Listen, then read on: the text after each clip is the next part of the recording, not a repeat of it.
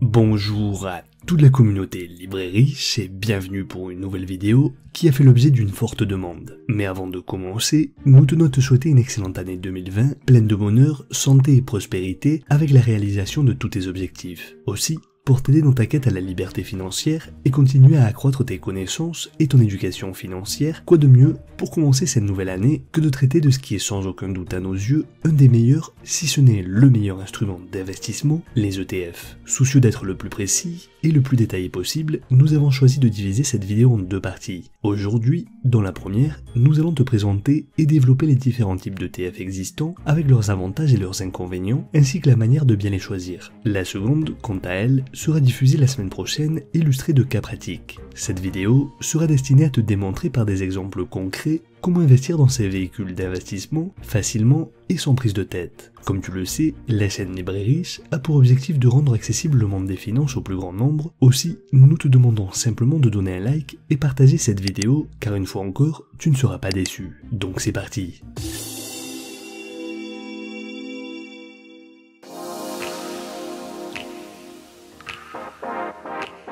Avant même d'entrer dans le vif du sujet, il est important que tu comprennes ce que sont les indices et à quoi ils servent. Prenons l'exemple du CAC 40. Je suis sûr que tu en as déjà entendu parler par le biais de divers médias dans lesquels on t'annonce la hausse ou la chute du CAC 40 sans pour autant savoir réellement à quoi cela correspond. La première grande vérité sur les indices est qu'il en existe sur tous les produits susceptibles de coter sur un marché. En effet, ils peuvent se retrouver tout aussi bien sur de la rente fixe comme les obligations, mais aussi sur les matières premières, sur des actions, sur la volatilité et des milliers d'autres indices. En conclusion, nous pouvons affirmer que dans le monde, il existe autant d'indices qu'autant sur toutes sortes qu'il existe de possibilités sur le marché. On peut donc définir un indice comme une moyenne dont l'objectif est de refléter l'évolution de l'ensemble des actifs qui le composent. Aussi, et pour faire simple, nous allons diviser les indices en trois sous-parties différentes. Premièrement, les indices boursiers, c'est-à-dire ceux afférents aux actions cotées en bourse. Dans le cas du CAC 40, il s'agit d'un indice regroupant les 40 plus importantes entreprises boursières ou capitalisation boursière cotées à la bourse de Paris et signifiant cotation assistée en continu. Au sein de cet indice, créé en 1987, chaque entreprise va être pondérée. Autrement dit, en fonction de sa capitalisation boursière et de son importance, elle va avoir un poids différent et influencer le cours plus ou moins fortement. Chaque bourse et pays a ses propres indices, dont le SP500, le Dow Jones Industrial, le Nasdaq 100 et bien d'autres aux USA, le DAX en Allemagne, le FTSE 100 au Royaume-Uni ou encore le Nikkei 225 au Japon. Il est donc important pour toi de comprendre qu'un indice ne reflète pas des unités monétaires. De ce fait, si le CAC 40 cote à 6000 points et le Dow Jones à 30 000 points, ça ne veut pas forcément dire que le premier vaut moins que le second. Les indices cotent donc en points. En ce sens, si l'on dit que le CAC 40 cote à 6000 points et est monté de 2%, l'on dirait qu'il est monté de 120 points et se trouve désormais à 6120 points. Enfin, les indices ne sont pas comparables entre eux. Tandis que le CAC 40 se calcule par capitalisation boursière, le Dow Jones se calcule par moyenne arithmétique. Deuxièmement, les indices sur matières premières. Ici, de la même manière que l'on a des indices sur les actions, l'on peut avoir des indices sur les matières premières. Ces produits initiaux peuvent être de plusieurs sortes. Des matières premières agricoles telles que le blé, le maïs, le café ou les huiles par exemple, des minerais comme le fer ou l'or, et enfin des matières premières énergétiques comme le pétrole, le charbon ou encore le gaz. Enfin, l'on peut également trouver des indices qui vont inclure en leur sein des obligations d'État par exemple. Les obligations d'État ou emprunts d'État sont des titres de créance émis par un État pour financer ses dépenses en empruntant des fonds sur les marchés financiers. Les obligations sont une forme d'investissement financier qui implique de prêter de l'argent à une institution contre un taux d'intérêt convenu. Les investisseurs, quant à eux, perçoivent des intérêts définis à intervalles réguliers. En France, les plus connus sont les OAT ou obligations assimilables du Trésor dont la durée de vie se situe en moyenne entre 5 ans et 10 ans. ETF est l'acronyme anglais d'Exchanged Traded Fund. Les ETF, aussi connus comme trackers, sont donc des fonds d'investissement cotés de gestion passive qui vont donc se contenter de répliquer un indice de référence que l'on appellera benchmark. Les ETF sont une innovation récente dans l'histoire de la gestion de portefeuille. Il faut toutefois expliquer que malgré ce que beaucoup pensent à tort, leur forme juridique est exactement la même que d'autres fonds, ce sont des OPCVM sous la forme de SICAV ou de fonds communs de placement. Toutefois, dans les cas des ETF, ce que l'on appelle la valeur liquidative, c'est-à-dire le prix de la part, n'est pas calculé chaque jour comme pour les autres OPCVM et sont cotés en continu et on peut les acheter et les vendre tout au long de la journée comme des actions. Le premier ETF a commencé à se négocier en 1993. L'idée de lancer un fonds qui se limite à répliquer un indice provient de la théorie moderne du portefeuille de Harry Markowitz, économiste américain et auteur du modèle de diversification efficiente des portefeuilles d'actifs financiers ainsi que des études ultérieures de William Sharp, économiste américain et lauréat du prix Nobel d'économie qui vont donner l'impulsion à la création de véhicules de cette nature. Le processus de création des ETF va donc naître dans un premier temps à ces deux théories qui vont mettre en avant l'importance d'avoir un portefeuille diversifié, notamment pour réduire les risques tout en conservant une bonne rentabilité. En 1973, le livre A Random Walk on Wall Street de Burton Malkiel, économiste américain diplômé des universités de Princeton et d'Harvard, professeur de finance à l'université de Princeton, est publié, dans lequel il soutient que la plupart des fonds d'investissement ne parviennent pas à battre leur indice de référence. En 1975, John Bogle lance le Vanguard 500 Index Fund, un fonds indiciel. Il est un investisseur américain et une personnalité de la finance, fondateur de The Vanguard Group, classé deuxième société de gestion en ce qui concerne les actifs sous gestion, est considéré comme le père des fonds indiciels. Précurseur, il a l'idée de créer un portefeuille pour répliquer la rentabilité de l'indice, ce qui avait déjà les caractéristiques des ETF. Finalement, en 1992, encore une fois, Sharp et John Bogle, en 1999 dans son livre Common Sense on Mutual Fund, démontrent que l'indexation offre une réponse idéale. Diversification instantanée, faible coût et possibilité de rechercher une exposition à n'importe quel marché en un temps record. En effet, si le marché est efficient et qu'il est impossible de le battre systématiquement, ce qui s'est révélé être vrai sur le long terme, alors pourquoi ne pas le répliquer tout simplement? L'ensemble de ces études, ainsi que les données empiriques, ont donc mis un terme au débat stérile entre d'une part la gestion active où le gestionnaire du fonds sélectionne lui-même les actions en se basant sur des données passées dans l'espoir de battre le marché et d'autre part la gestion passive où le gestionnaire estime que prédire l'avenir en se basant sur le passé n'a strictement aucun sens et que par conséquence il n'est pas possible de surperformer le marché sur le long terme car on parle bien ici de long terme. John Bogle est décédé l'année dernière le 16 janvier 2019 et Warren Buffett, pourtant considéré comme l'un des plus grands investisseurs de tous les temps, a affirmé si une statue devait être érigée pour honorer la personne qui a le plus contribué pour l'investisseur américain, le choix doit être Jack Bogle. Au cours de ses premières années, Jack a souvent été dédaigné par l'industrie financière. Il a cependant eu la satisfaction de savoir qu'il a aidé des millions d'investisseurs à obtenir des rendements de leur épargne bien meilleurs que jamais il ne l'aurait imaginé. C'est aussi la raison pour laquelle Warren Buffett lui avait personnellement rendu hommage lors du meeting annuel de sa société l'an dernier en déclarant que de toutes les personnes qu'il a pu connaître, John Bogle est l'homme qui est le plus œuvré pour défendre les intérêts des investisseurs particuliers. Il a complété en disant qu'il estimait que Bogle avait fait économiser plusieurs dizaines de milliers de dollars à ses clients au cours des années d'existence de sa société. Pour conforter ces données, il faut savoir que si au cours des dix dernières années, on avait investi un dollar dans Berkshire Hathaway, le fonds de Warren Buffett, il vaudrait aujourd'hui 2,40 dollars, alors que investi dans un ETF répliquant le SP500, il vaudrait 3,20 dollars. Ainsi, Warren Buffett a révélé que dans son testament, il recommandait à sa femme lors de son décès que 10% de l'argent hérité soit investi dans des obligations souveraines à court terme des USA et les 90 restants dans un ETF répliquant le SP500 et il nous donne même le nom, celui de la société de John Bogle, le Vanguard SP500 ETF. De ce fait, on va pouvoir diviser en trois l'industrie des fonds d'investissement.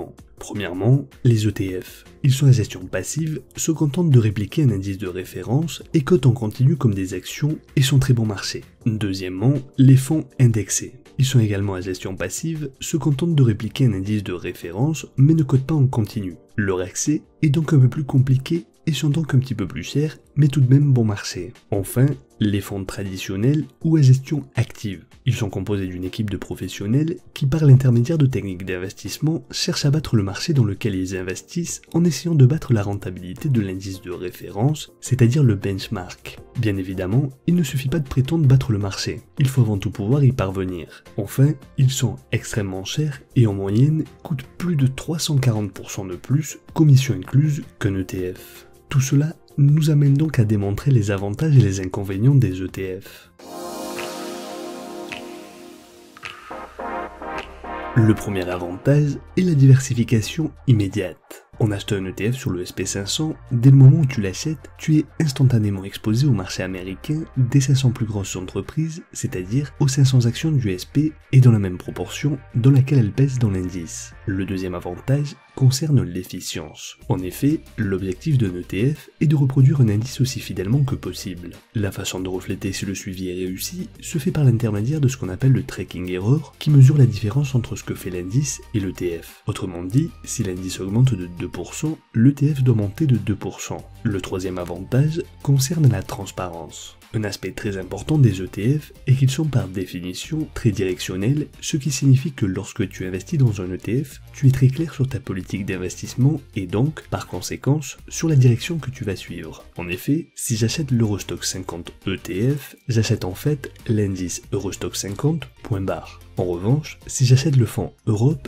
Intensive High Level Performance FI, le gestionnaire devra suivre le mandat donné par les statuts du fonds, mais il est libre d'investir dans des instruments ou non incompréhensibles, dans lesquels je ne suis pas certain de vouloir me risquer, ou dans des produits que lui-même ne comprend peut-être même pas, puisque rappelons-nous la débâcle de 2008 avec la titrisation. De la même manière, si aujourd'hui je donne des instructions pour acheter un fonds d'investissement traditionnel, l'opération se fera à un prix que je ne connais pas forcément, et pour voir l'achat effectué dans mon portefeuille, il me faudra attendre minimum un jour, dans le meilleur des cas, pour être informé. Avec les ETF en revanche, tu démarres ton ordinateur, tu cherches l'ETF qui t'intéresse et qui t'est proposé par ton broker et tu l'achètes et voilà, l'ETF t'appartient et fait partie de ton portefeuille d'actifs, rien de plus simple. Le quatrième avantage, et qui n'est pas des moindres, sont les frais extrêmement faibles. Et oui, les professionnels gérants d'actifs de fonds traditionnels le déplorent depuis maintenant plusieurs années. En effet, les ETF sont tellement bon marché et performants qu'ils perdent énormément de clients car ces derniers réalisent que non seulement la rentabilité des fonds traditionnels n'est pas au rendez-vous, mais en plus que les frais sont exorbitants, de l'ordre de 3% en moyenne voire plus, alors qu'en achetant directement des ETF, ils ne paient que 0,2%, voire même 0,02%.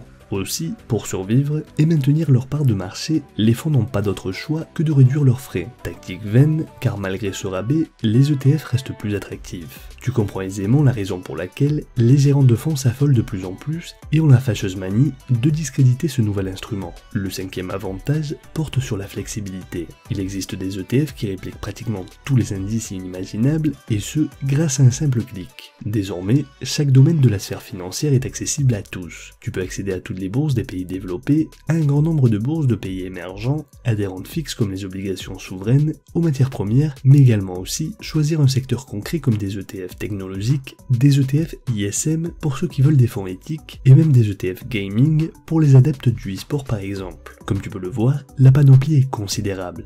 Aussi, tout logiquement, on peut classer les ETF de la façon suivante. D'abord, tout cet ensemble peut être rangé dans la catégorie ETP pour Exchange Traded Product. Au sein de cet ensemble, on trouve donc les ETF proprement dits, c'est-à-dire tous les fonds indiciels cotés, puis les ETN ou Exchange Traded Note concernant tous les fonds du type obligataire qui s'intéressent au marché des titres de dette, et enfin les ETC ou Exchange Traded Commodities qui suivent les marchés des matières premières. À côté, on peut également ajouter les ETI ou Exchange Traded Instruments qui regroupent tout un ensemble de produits dont nous parlerons dans de prochaines vidéos comme les warrants, les futurs, les options ou encore les forwards. Enfin, le sixième et dernier avantage est le contrôle du risque. Peux-tu mettre un stop dans un fonds d'investissement En principe, non. Peux-tu faire une analyse graphique complète dans un fonds d'investissement? En principe, non plus. Eh bien, tous ces noms dans un ETF sont des oui. Rappelle-toi qu'un ETF fonctionne comme une action puisqu'il s'agit de fonds cotés. Tu peux donc mettre des stop loss, tu peux entrer sur le marché avec des ordres à seuil de déclenchement, ordre limité et tous les ordres que tu peux utiliser traditionnellement lorsque tu investis en bourse, comme nous l'analyserons lorsque nous passerons à la partie pratique avec un cas réel la semaine prochaine. Ainsi, tu vas également pouvoir faire une analyse graphique, aussi connue comme analyse technique, thème déjà abordé dans une précédente vidéo, que tu peux retrouver en cliquant sur l'icône qui apparaît en haut à droite de l'écran. Nous ne détaillerons pas volontairement le sujet concernant les types d'ordres, car riche en informations, l'on pourrait y dédier une vidéo. Aussi, n'hésite pas à nous en faire part dans les commentaires si ce sujet t'intéresse. En bonus, un dernier avantage, et qui n'est pas des moindres, se rapporte à l'optimisation fiscale. Attention, cet avantage n'est pas inhérent aux ETF, mais à la fiscalité française, puisqu'en effet, certains ETF sont éligibles au PEA et à l'assurance vie par l'intermédiaire d'unités de compte. Ce sont donc deux merveilleuses enveloppes fiscales qu'il est intéressant d'utiliser en vue de bénéficier du report d'impôts dont elles bénéficient et ainsi augmenter ses rentabilités. Si ce sujet t'intéresse, n'hésite pas à nous le faire savoir dans les commentaires et nous y consacrerons une vidéo également. Le choix s'étant porté aujourd'hui sur les ETF, il est impossible d'y intégrer ce chapitre, sans quoi la vidéo durerait deux heures. Évidemment, tout instrument financier qui a des avantages a également des inconvénients, et pour être le plus transparent possible, il est élémentaire de connaître les quatre principaux risques auxquels tu t'exposes, même si toutefois à nos yeux, ils restent minimes et n'annulent en rien les avantages cités précédemment. Le premier risque évident est le fait qu'acheter un ETF n'est pas un produit miraculeux. En effet, tu profites facilement des performances de marchés lointains ou difficilement accessibles autrement, comme ceux des États-Unis ou du Japon par exemple. Mais si ces marchés plongent, leur cours plonge aussi. Certes, cet argument est fréquemment avancé par les détracteurs des ETF, Toutefois, il faut cependant rappeler que les risques ici sont liés à l'actif dans lequel les ETF sont investis, et ce sont donc des risques auxquels tous les véhicules d'investissement, quels qu'ils soient, sont exposés, que ce soit un fonds d'investissement traditionnel ou un ETF. Si un ETF investit dans des actions, nous savons que nous avons un investissement à forte volatilité, et donc un risque plus élevé. Par contre, si un ETF investit dans des obligations, le risque sera moindre, et ce sera la variation des taux d'intérêt qui l'affecteront. Mais encore une fois, tous ces risques sont inhérents aux actifs qui composent le portefeuille des ETF, et non pas aux véhicules d'investissement en tant que tel, qu'il s'agisse d'un fonds traditionnel, d'un ETF et même de ton propre portefeuille. Le deuxième risque concerne les risques de change. Avec un tracker sur le SP500, tu prends à la fois un risque sur la bourse américaine et un risque sur le dollar, puisque les mouvements de la monnaie peuvent compenser ceux de la bourse, mais ils peuvent se cumuler dans le bon comme dans le mauvais sens. Une nouvelle fois, cela est valable pour les ETF, mais aussi pour n'importe quel véhicule. De plus, Parfois, les gestionnaires des ETF mettent en place ce que l'on appelle des swaps de devises afin de couvrir ces risques de change, mais pas systématiquement. Le sujet étant épineux, nous en reparlerons dans une prochaine vidéo. Le troisième risque est celui des liquidités. Encore une fois, il ne s'agit pas d'un risque exclusif aux ETF, Toutefois, c'est une menace qui peut hélas se produire. Aussi, c'est la raison pour laquelle, la semaine prochaine, lorsque nous passerons à la partie pratique, nous t'expliquerons comment détecter et corriger ces lacunes. En effet, il existe des ETF qui ont un volume de négociation quotidien très faible, ce qui leur confère un caractère peu liquide, d'où la difficulté de le revendre rapidement. Aussi, pour pallier à ce problème, il faudra soit attendre qu'un acheteur potentiel se manifeste, soit en cas de besoin d'argent, devoir brader les parts d'ETF pour s'en faire rapidement et bien souvent à perte. Nous avons déjà traité le sujet de la liquidité d'un investissement dans une vidéo précédente que tu peux également retrouver en cliquant sur l'icône qui apparaît en haut à droite de l'écran. En revanche, si tu souhaites acheter des ETF pour investir intelligemment, c'est-à-dire sur le long terme, ce que nous te recommandons, alors le manque de liquidité à un moment T n'est pas très important. Par contre, si tu souhaites investir en vue de spéculer avec des ETF, alors ce manque de liquidité est effectivement important et aura un impact sur la rentabilité finale de l'investissement si l'on peut toutefois appeler cette pratique de l'investissement. Enfin, le dernier aléa est le risque de contrepartie. On rentre ici dans le vif du sujet des différents types de réplication et vous avez été extrêmement nombreux à nous demander la différence entre ceux-ci et les risques potentiels. Cela peut sembler facile, pourtant cela est bien plus compliqué qu'il n'y paraît. En effet, comment répliquer par exemple la performance du Russell 3000 qui est un indice composé des 3000 entreprises cotant sur plusieurs bourses et même certaines entreprises qui ne cotent sur aucune bourse concrète? Et c'est là où arrive la magie de l'ingénierie financière. Magie qui peut s'avérer tout aussi bien être positive que négative. Souvenons-nous de la mauvaise utilisation de la titrisation et ses dérives lors de la crise des subprimes de 2008. Malgré tout, le secteur de l'investissement a trouvé trois excellents moyens de répliquer les indices. Il peut s'agir dans un premier temps d'une réplication physique, c'est le plus classique. En fait, ici, l'ETF achète les actifs qui composent l'indice. Si l'ETF doit répliquer le CAC 40, alors, à ce moment-là, des actions des 40 entreprises faisant partie de l'indice sont achetées de la même manière que tu les achèterais toi-même directement, sans intermédiaire. C'est également le cas des ETF or qui sont en possession d'un stock d'or tellement important que certains d'entre eux disposent de réserves qui dépassent celles détenues par la plupart des banques centrales. Il peut également s'agir d'une réplication physique échantillonnée. Cette deuxième méthode est très proche de la première. Dans ce cas, l'ETF possède seulement une partie des titres de l'indice et non pas la totalité, tout en s'assurant d'être suffisamment proche de cet indice. Ce type de réplication est mis en œuvre quand le nombre de titres à suivre est trop important ou quand certains titres sont trop illiquides pour être dans le tracker. Cela permet donc une optimisation du coût et de la liquidité du tracker. Cependant, le risque est de s'éloigner à la hausse comme à la baisse de la performance de l'indice. Il peut en outre s'agir d'une réplication synthétique. Elle consiste à construire le portefeuille de l'ETF à travers de produits dérivés comme des swaps. L'ETF possède des actifs physiques qui n'ont rien à voir avec l'indice à suivre et les complète avec ce que l'on appelle un swap, c'est-à-dire un échange de rentabilité avec un autre acteur qui va acheter les titres et s'engager à fournir la performance de l'indice à l'ETF. Selon certaines études, c'est le meilleur moyen d'être proche de l'indice et il va donc te permettre d'avoir accès aux marchés mondiaux pourtant inéligibles au PEA. Le risque, dans le cas d'une réplication synthétique, est que l'ETF soit exposé au risque de défaut de la contrepartie du swap conclu pour répliquer la performance de l'indice correspondant. Le reproche fait aux ETF synthétiques est de s'appuyer sur un swap fourni par un autre acteur financier qui pourrait faire faillite. C'est ce que l'on appelle le risque de contrepartie. Cependant, il faut savoir que selon les règles européennes, c'est-à-dire les UCIT, la valeur du swap ne peut pas être supérieure à 10%, donc la perte maximale ne peut pas être supérieure à 10%.